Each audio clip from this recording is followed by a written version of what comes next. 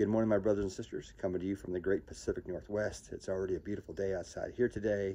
I know it's going to be really hot in some parts of the country, but whatever the case, may you find great peace and joy and rest in God's presence wherever you may be. Today's word of encouragement comes from John 3 16 and 17. For God so loved the world that he gave his one and only Son, that whosoever believes in him should not perish but have eternal life. For God did not send his Son into the world to condemn the world, but to save the world through him. What an awesome verses those are. Oftentimes we know the first one by heart. Um, maybe we have to look up the second one, or maybe it's not so, quite so clear. But sometimes, don't you think the second one is just as important? God did not send his son into the world to condemn the world, but to save the world. You know, I think part of the problem in society today is sometimes uh, we don't see Jesus as uh, the Savior he is. What if we looked at Jesus as a doctor? I mean, if you were to go to the doctor this week and the doctor said, hey, uh, if you don't stop doing these things, you're going to have cancer, um, wouldn't you change your ways? If the doctor said, hey, if you don't, you know, stop doing these things or stop eating these things, you're going to have diabetes, uh, wouldn't you at least consider doing things the doctor's way? Uh, we trust our doctors, don't we?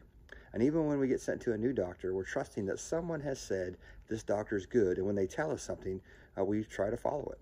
Now, obviously, there's times in society, certainly, that people don't follow the instructions that have come about. Uh, it's been obviously stated now for many decades that smoking is harmful, and yet many people still choose to smoke. And uh, and really, it is their choice, and, and, and I'm not condemning anybody for that. Um, but when it comes to living our lives, wouldn't we want to listen to a good doctor? Wouldn't we want to do our best uh, for the most part? That's what Jesus is. Jesus is like the good doctor. He's come to save us. He's come to help us. He's come to help us to have a life worth living and to enjoy life for as long as we can won't you listen to the doctor today? Won't you take what Jesus has to say? And it's, what he has to say is right here in his word.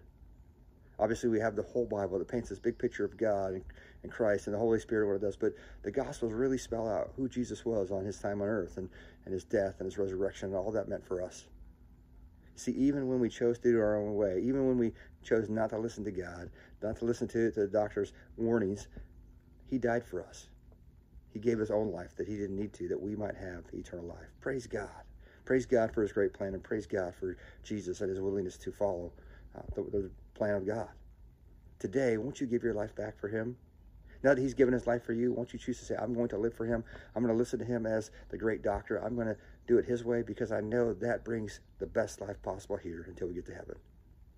On the other hand, we do know that when we get to heaven, that there, there will be a judgment day when we stand before God and we have to account for us. And if we haven't received Jesus as our personal Savior, if we haven't had our sins placed upon His back because we haven't received Him, we know that the destination is hell and not something any of us look forward to. Today, let's celebrate the doctor who saves us. Today, let's celebrate the one who came and died on our name. Today, let's share that with the world. Let's share the good doctor. Let's share the doctor that we have found with the good world that can save their lives. Father God, thank you for this day. Thank you for your almighty plan. Thank you for your word that teaches us about you, about Christ, about the Holy Spirit, and, and all that you are as God, the three in one. Father, we just pray today that as we're out and about, that you would help us to minister to people. Give us opportunity to share information about our good doctor Jesus and all that he wants to offer. And Father, may people be receptive to it. May they open their arms and their hearts to Jesus. May they confess their sins and repent and turn to him that they too might have eternal life with us. Might we all be saved because of your love. Father, thank you for all that you're about to do. Be with those who are hurting us today. Be with them especially. And may they sense your presence. May they call upon your name for help. Father, thank you. In Jesus' name we pray. Amen.